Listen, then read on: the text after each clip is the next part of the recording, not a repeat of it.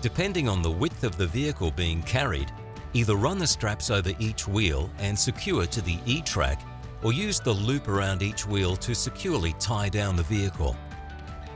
For vehicle, when wheel is positioned on the E-track rail, use the idler to secure the wheel to the E-track. Attach the 50mm strap to the E-track and place over the wheel.